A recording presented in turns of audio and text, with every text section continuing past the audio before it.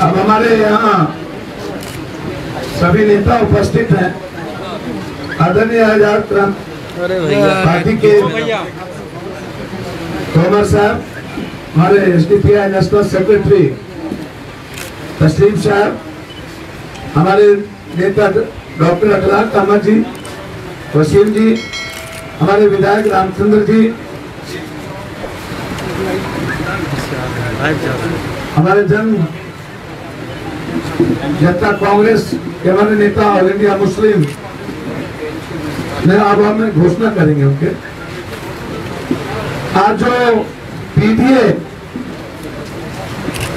में जो समर्थन देने आज चल के आए, दो बड़ा घटक हमारे पूर्व सांसद यहाँ उपस्थित हैं। ऑल इंडिया माइनॉरिटीज फ्रंट राष्ट्रीय अध्यक्ष S M S I F ex M P Asif साहब, जिनका सानिध्य हमको शुरू से रहा है, वो भी यहाँ मौजूद हैं। ऑल इंडिया मुस्लिम राष्ट्रीय अध्यक्ष वसी अहमद जी मुस्लिम मजलिस के राष्ट्रीय अध्यक्ष वो भी यहाँ मौजूद हैं। सभी लोग, और जो लोग सपोर्ट किए हैं, चिट्ठी भेजे हैं, Bharat Integrator Rakshak party Arjak Adhikar Dal Azad Bharat party Indian business party Shoshit Samaj party राष्ट्रीय जन उत्थान पार्टी पिछड़ा समाज पार्टी अपना ज़िंदगी Apna Dal party Bharatiya Sangam party colonel Vinod Kumar ji के नेतृत्व में ये सभी लोग, बड़े पैमाने पर सभी की चिट्ठी आ गई है और इन लोगों ने बिहार को बचाने के लिए प्रोग्रेसिव डेमोक्रेटिक अलायंस। को जिस तरीके से लगातार मदद कर रहे हैं, मुझे उम्मीद है कि जो डरावना गठबंधन है, डरावना, एक तरफ़ सांप्रदायिकतावाद और एक तरफ़ जातीयतावाद, एक तरफ़ उन्माद, एक तरफ़ आतंक ये जो ये जो तीस सालों से जो ये बिहार के युवाओं को, किसानों को मजदूरों को, जो जातीय उन्माद, जातीय दंगा और सांप्रदायिक दंगा के भावनात्मक खेल में पीस के रखे हैं। आज गहरी चिंता पूरे देश की बिहार को लेकर के है। हमारा नेता आज़ाद भारत पार्टी और देश भर के नेता जो लड़ने की कुर्बत रखता है, चंद्रशेखर रावत जी देश भर में लाठी कारे हैं और यहाँ घिनौनी राजनीति चल रही। पूरी पीडीए सड़कों पर है। बेटियों के सवाल पर जो घटना घटी है, ये बड़ा विचित्र है। और इसको तो रोक रोकने की पूरी साजिश। तो हम लोगों ने गहरी चिंता है कि इस जाँच की सीबीआई जाँच नहीं हो। इसकी जाँच यदि सीबीआई हो तो सुप्रीम कोर्ट के किसी वर्तमान न्यायाधीश के मॉनिटरिंग में यह जाँच हो। हर परिस्थितियों में बड़ी गहरी चिंता है। जिस तरीके से राहुल गांधी जी पर या पर देश के लोकतंत्र खतरे में, ये बड़ी गहरी चिंता का विषय है। प्रियंका जी को जिस तरीके से मेल ने गिरबान पकड़ा, उसको अविलंब सस्पेंड करना चाहिए। ये मेरा डिमांड है? ये सबसे बड़ा डिमांड है मेरा। मैं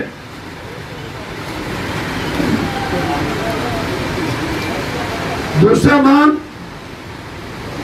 मेरी गहरी चिंता थी, सीबीआई के मिली भगत से सुशांत के केस को रफा दफ़ा कर दिया जाएगा। सीबीआई ने गहरी साजिश रचकर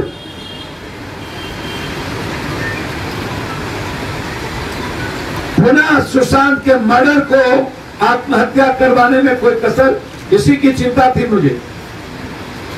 तो यह साजिश नज़र आ गई कि कैसे ये लोग राज, राजनीति करते हैं, इस्तेमाल करते हैं।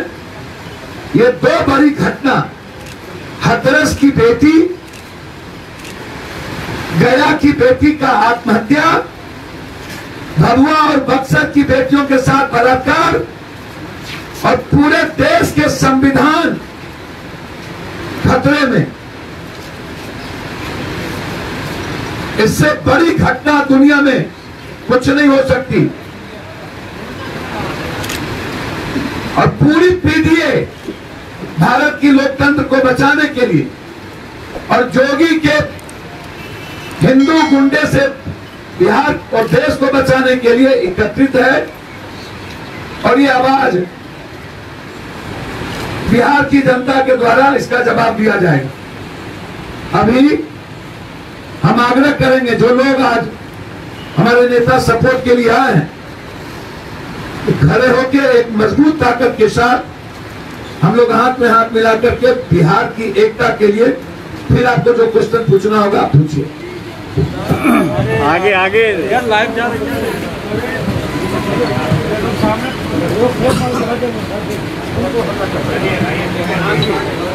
ये हम लोगों के गठबंधन का हिस्सा आज से। मार खाने वाला। बिहार को वो लोग क्या देंगे? जो लोग अपने गठबंधनों का सम्मान नहीं कर सकते न एनडीए में किसी गठबंधन का सम्मान है, न एनडीए में बीजेपी और नीतीश कुमार जी एक दूसरे के भीतर का कोई रेस्पेक्ट है, न कांग्रेस और एक बड़े गठबंधन जिसको न जाने क्यों लोग ढो रहे हैं। उनका कोई रेस्पेक्ट है।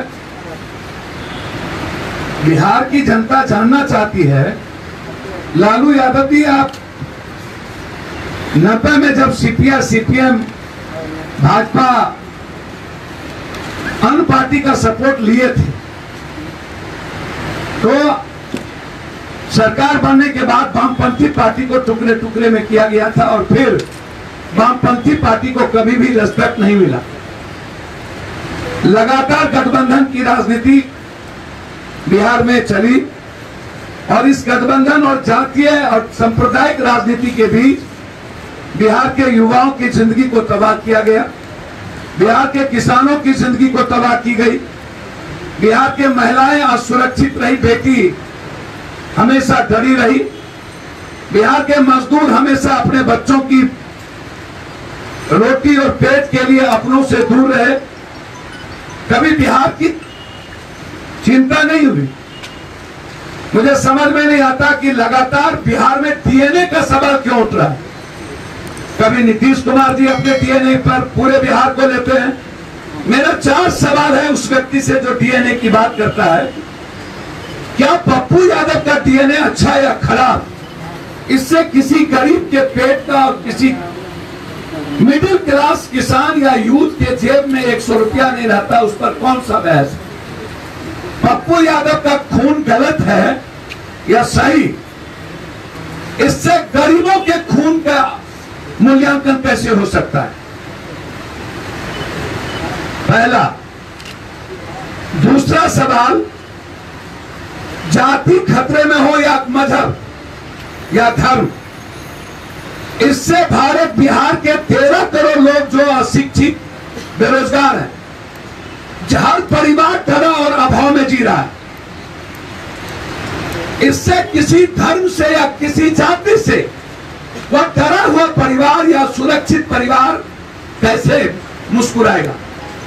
यह सवाल। और तीसरा सवाल, जब ये लोग घर में बैठ के ट्वीट का खेल खेलते हैं, मायावती जी, हमारे नेता हो या कोई, जब सड़कों पर बेटी बचाने की बारी हो तो बिहार में कोई आवाज़ नहीं उठती है।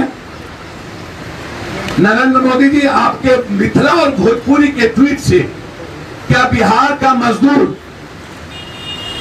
का पलायन रुक जाएगा? आपके जुमलेबाजी से, आपके रिफेल के ट्वीट से क्या बिहार के मजदूरों का पलायन और युवाओं के रोज़गार जो आत्महत्या करने पर मजबूर हुआ, क्या वो रुक जाएगा? यह सवाल बिहार के जहन में जाना चाहिए कि पप्पू या किसी नेताओं के डीएनए से बिहार के 12 करोड़ जनता जो परेशान है, उसकी परेशानी कैसे रुकेगी? बिहार 26वें नंबर पर है, वो 26 नंबर बिहार एक नंबर पर कैसे जाएगा?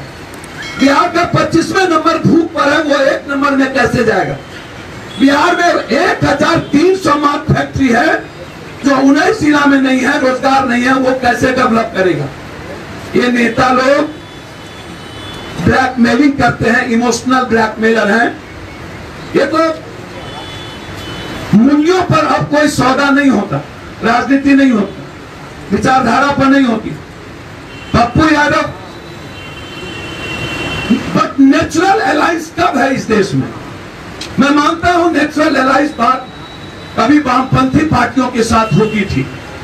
कभी बाबा साहब अंबेडकर की सोच के साथ होती थी। लेकिन अब जनता चुन के भेजती है और बेंगलोर में सरकार तीन सौ चार सौ करोड़ रुपए में बदल जाता है। मध्य प्रदेश में आप पैसे पर आप सरकार बदल देते हैं, राजस्थान की सरकार गिराते हैं, मणिपुर में दो विधायक है और आप मुख्यमंत्री बन गए हैं। क्या ये बट नेचुरल अलायंस है? अब तो कोई नेचुरल अलायंस नहीं है। अब तो सत्ता, सियासत और वोट को लेकर के होता है। पूरे देश का नेता अपने वर्कर्स से पैसा लेकर के टिकट देता है। लगभग पार्टियों की स्थिति कुछ ना कुछ ब्लैकमेलिंग इस देश में वर्करों का सौदा क्यों होता है? इस देश में जाति के आधार पर ही सिर्फ़ टिकट क्यों बंटवारे होते हैं? और इस देश में जाति के आधार पर डीएनए खराब कैसे होता है? यह सवाल आज पॉलिटिक्स के लिए प्रासंगिक हो चुका है। और यदि बिहार की जनता इसको नहीं मानेगी तो नेताओं का डीएनए एक दूसरों की लड़ाई के लिए खराब होगा। इसमें बिहार की जनता पीसती रहेगी। जो कल से आज तक हो रहा है, मैं ऐसी चीज़ों की आलोचना करता नेताओं को झूठ और धुतई करना नहीं चाहिए। अपने गठबंधन के साथ फेयर रहना चाहिए। मैं स्पष्ट कहता हूँ, यदि बिहार बचाने के लिए हम पाँच सालों से लगातार सड़कों पर हैं, लेकिन पप्पू यादव वादा करता है, स्वागत करेंगे हम मुकेश जी हो, चाहे कुशवाहा जी हो। हर परिस्थिति में कि आप मुख्यमंत्री का सपना देखिए। मैं आपके पीछे खड़े रहूँगा, मुझे कोई मुख्यमंत्री का सपना नहीं देखना है। मुझे बिहार के यूथ को, पलायन मजदूर को और बेटियों की सुरक्षा अहमियत है। मेरे लिए इन सौदागर के तरह जो लोग मुख्यमंत्री से चिपकू है, चाहे वो नीतीश कुमार हो, रामविलास पासवान मौत के मुँह में ज़िंदगी जी रहा हो। और उसके बाद जिस तरीके से नीतीश कुमार और गठबंधन उसको परेशान कर रही है, बेइज्जत कर रही है, पता नहीं रामविलास जी रहेंगे कि नहीं। मैं भगवान से प्रार्थना करता हूँ कि रामविलास जी हम लोग के बीच अभी रहे। लेकिन जिस तरीके से ऐसे समय में जब रामविलास जी का तीन तीन ऑपरेशन हो, और उस वक्त एनडीए उसको साथ छोड़ दे, और नीतीश कुमार पैर की धूली समझने लगे। यह दुर्भाग्य है पॉलिटिक्स का। और कल जो घटना घटी, वह बहुत गलत। पहले माझी को और दोनों घटक, माझी को पहले बधक नीतीश ने किया, फिर महागठबंधन ने किया और कांग्रेस उसकी हिफाजत नहीं कर पाई। कांग्रेस की ज़िम्मेदारी थी हिफाजत करने की। फिर दूसरा उपेंद्र कुशवाहा। जो कॉमन मिनिमम प्रोग्राम और सिर्फ़ एक मज़बूत नेतृत्व के साथ चुनाव लड़ने की बात कर रहे थे। आप उसे भी निकाल दिया, कांग्रेस सुरक्षण रक्षण नहीं दे पाए। और जो कल हुआ कि आप बंद कोठी में कुछ कह दिए हम सीएम बनाएँगे, या डिप्टी सीएम बनाएँगे, हम आपको 24 सीट देंगे, आप वहाँ कहते उनको लगता पसंद है तो जाता नहीं लगता तो नहीं जाता। आप वैचारिक अलायंस क्यों नहीं करते? आप सत्ता के लिए अपमान क्यों करते? और ये अपमान कोई एक पार्टी नहीं करती। लगभग पार्टियों की फितरत दूसरों को ठगने धुटाई करने की है। मैं बड़ा दिल दिखाकर स्वागत करता हूँ। कुशवाहा जी आपका? मुझे सीट शेयरिंग में कोई दिक्कत नहीं है। और ना मुझे सीएम बनना है। आप दोनों को सीएम बनना आइए। हम आप दोनों का स्वागत करते सबसे बात होती है, क्या बात हुई? अब पति पत्नी से क्या बात हुआ आप ही बताना है। अब इसमें हम बहुत से बहुत अलग अलग बात करते हैं। सबसे मोहब्बत करते हैं। आपसे भी मोहब्बत करते हैं। कल रात एक बजे बात हुआ। आपसे हम क्या बात की है? सर, हम बता दें, आपकी पत्नी को। सर आने वाले दिनों में मुकेश जी जी शामिल होने जा रहे हैं सर आप राजा रंग से पूछते हैं राजा के बारे में, मुझे तो समझ में नहीं आती, मेरी तो कोई औकात नहीं है। कोई चाहते नहीं है तो मेरा औकात क्या होगा बिहार में? उन दोनों आदमी का जात है तो औकात तो उनकी होगी ना। भैया तो राजा से पूछे ना, रंग से कोई पूछता है क्या? मैंने तो कहा कि मैं स्वागत करने को तैयार हूँ। उम्मीद है कि बिहार की जनता को पैर की धूली हम लोग बना के झगड़ा का बैगन बना दिया। और कोई जात हमारा भी होगा और हमको भी दोगलई और धुटई करने आएगा तभी ना हम भी कुछ आपको जो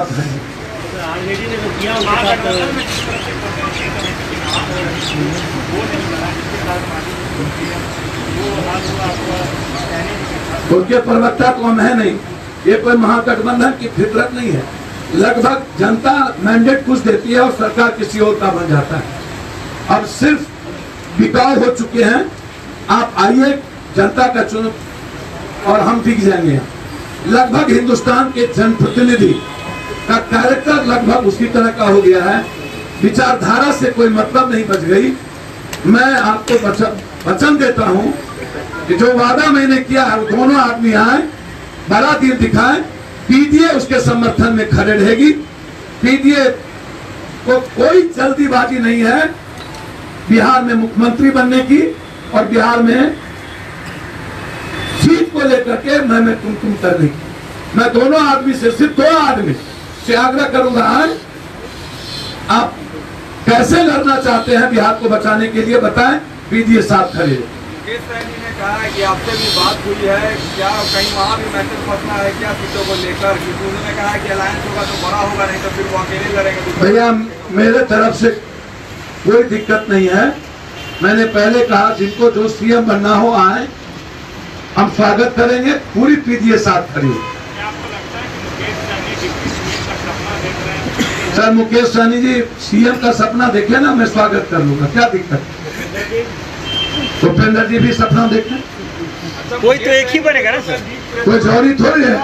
जब पाँच सौ डिप्टी सीएम हो सकते हैं तो चार ठो सीएम भी हो सकते हैं?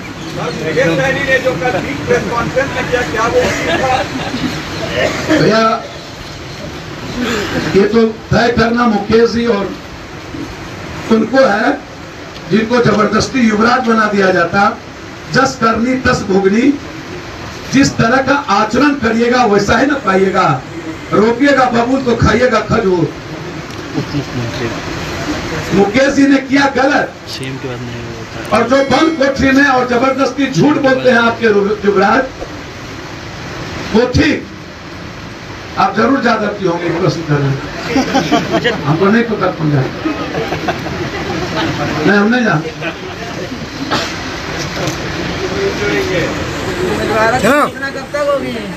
उम्मीदवारों की घोषणा आए उम्मीदवारों की घोषणा। अब लाला ग्वाला में तो कोई अंतर है नहीं। तीन ही दिन बाकी चिंता मत करिए। तीन ही दिन बाकी पहले नीतीश से पूछ लीजिए जो पंद्रह साल चलाए हैं और भूपेंद्र जी और फडणवीस से मिले क्यों नहीं उनसे पूछ लीजिए। और उनका घोषणा कब होगा? जो सत्ता के लिए बेचैन है उनसे पूछ लीजिए। हम ना मुख्यमंत्री के उम्मीदवार हैं और न पीडीए बेचे।